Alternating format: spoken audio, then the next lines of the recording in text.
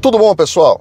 Hoje, Thanksgiving, quero gravar esse vídeo aqui para vocês, primeiro para agradecer cada um de vocês aqui que muitas vezes, muitas, muitas vezes, é, há anos, tem a paciência de vir aqui, me escutar, debater. Eu gosto muito de debater e, e eu quero agradecer muito que se vocês forem ver o vídeo anterior que eu gravei aí anteontem, Hoje é quinta-feira, possivelmente esse vídeo aqui só vai amanhã, na sexta-feira, mas eu já quero deixar aqui meu abraço de Thanksgiving para todos.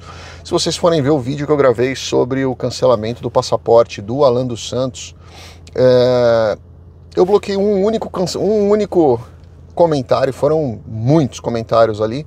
Eu só bloqueei um que eu achei desrespeitoso é, com os demais, mas o, o nível das pessoas que estão nesse canal aqui é, eu fico muito feliz, muito feliz mesmo. Às vezes as pessoas falam, poxa, Daniel, mas você podia ter mais seguidores.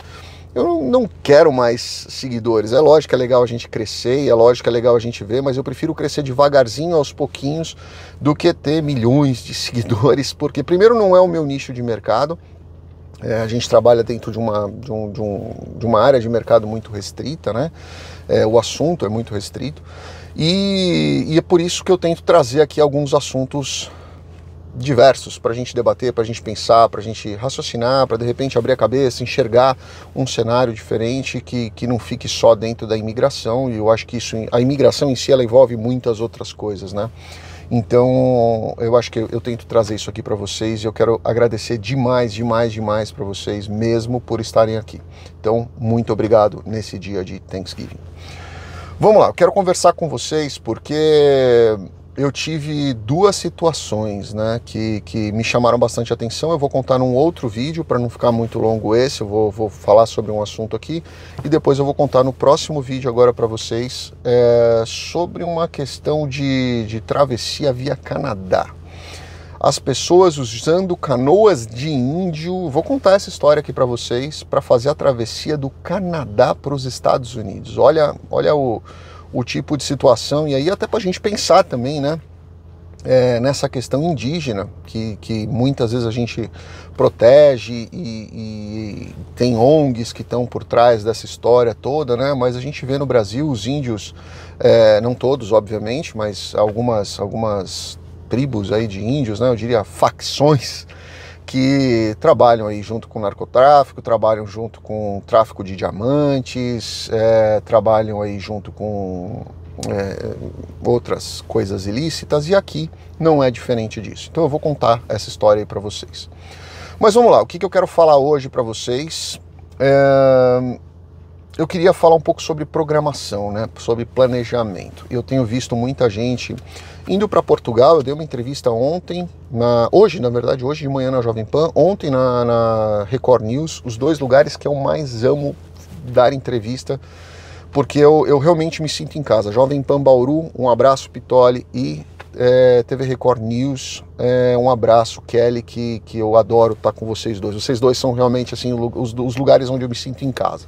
E eu falei sobre muitas pessoas indo para Portugal sem planejamento. Eu fiz questão de traçar aí um paralelo com é, os Estados Unidos e eu vejo as pessoas realmente achando que simplesmente ter o visto é algo é, que basta, né? Isso, o visto é uma coisa mínima que você pode esperar, né? Aí muita gente fala, poxa, mas é, mesmo eu tendo um green card na mão, eu, eu tô seguro, eu tô tranquilo. Não, você não tá, não é bem assim que funcione que funciona. Você precisa ir para qualquer país com, uma, no mínimo, uma, uma programação, um planejamento para seis meses, mínimo dos mínimos, tá? E esse planejamento para seis meses não é só você pegar seis meses, pegar uma conta, como eu já dei para vocês aí. Se vocês pensarem em 5 mil por mês, é um valor razoável para você se manter, né? Uma família aí, três, quatro pessoas, vocês vão conseguir se manter com 5 mil dólares por mês. Mas quando você está chegando, você tem muitas outras coisas que você vai precisar. Então não adianta falar 6 e 5, 30, 30 mil dólares, eu estou tranquilo por seis meses, vou arrumar um emprego e vou mandar bala. Não é assim. Porque na hora que você chega, você vai ter que fazer aí pelo menos três depósitos do aluguel para você entrar na casa. Então, só aí já são 15, são, são 15 ó, são, se você for pagar 2 mil dólares de aluguel, 2 mil e pouquinho, é, vamos falar 2 mil dólares de aluguel, média em estados normais, né? Estados anormais você vai pagar bem mais do que isso. Mas vamos falar em 2 mil dólares de aluguel, são 6 mil de cara. Ou seja, só na sua chegada, no dia da sua chegada, que você for alugar um imóvel, é, mais de um mês da sua reserva já foi embora, tá? E aí você vai precisar de um carro, porque transporte público nos Estados Unidos é muito ruim, na, na, na maioria dos, dos, estados e das cidades, tá? Transporte público é muito ruim, ele é muito simplão, assim, muito, é muito escasso, não tem, não, não imagina que você vai ter, como você mora em São Paulo, tem ônibus para todo lugar o tempo inteiro, por pior que seja o ônibus, é um ônibus que está indo, são várias linhas de frotas, não é assim que funciona aqui. Então você vai precisar de um carro. E aí quando você fala, eu vou comprar um carro, mesmo que você vá comprar financiado, mesmo sem credit score, você vai precisar dar um down payment nesse carro, né? E estamos falando aí de 20% a 30%. Aí você fala, poxa, mas se eu for comprar um carro de 5 mil dólares, eu estou tranquilo. Não, porque um carro de 5 mil dólares, ele vai te dar mais problema do que a sua sogra. Ele vai te porrinhar a vida, você vai ficar mais tempo gastando para consertar o carro do que efetivamente é, andando no carro, sem falar em manutenção, de custo de combustível e tudo mais. Então, assim, são coisas que não valem a pena. Aí você fala, poxa, mas aí eu vou, vou dar aí, sei lá, vou pegar um carro de 20 mil, já é um carro bacana, vou dar, sei lá, 20% de entrada, são quatro, vai, 5 mil dólares de entrada.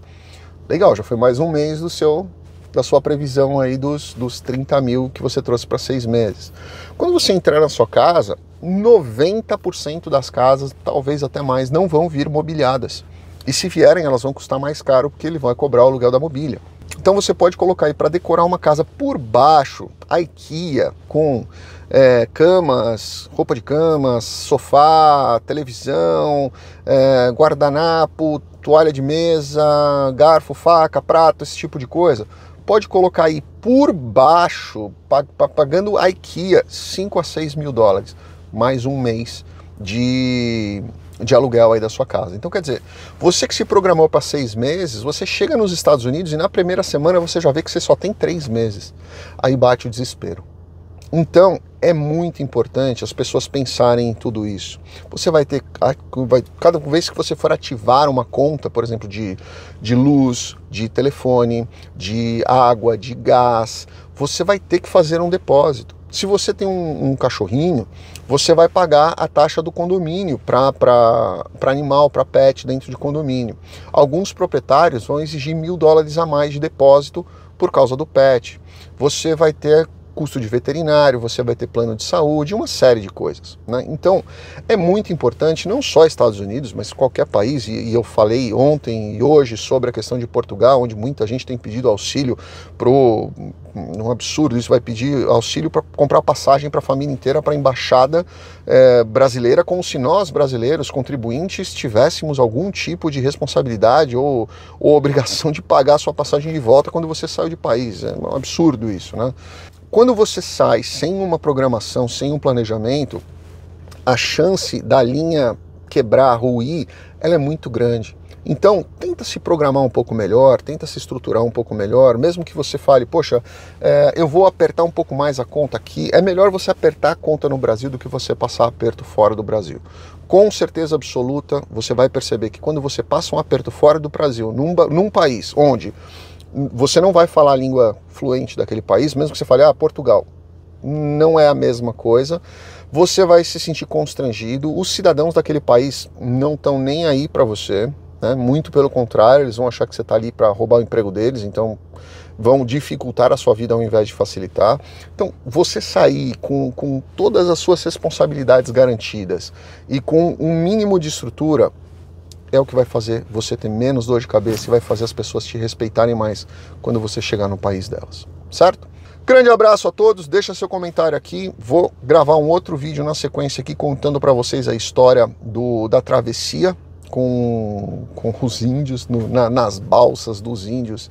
É, os índios agora traficantes de, de pessoas, é, e não só de pessoas, mas no próximo vocês vão ver essa história. Um grande abraço, fiquem com Deus. Obrigado.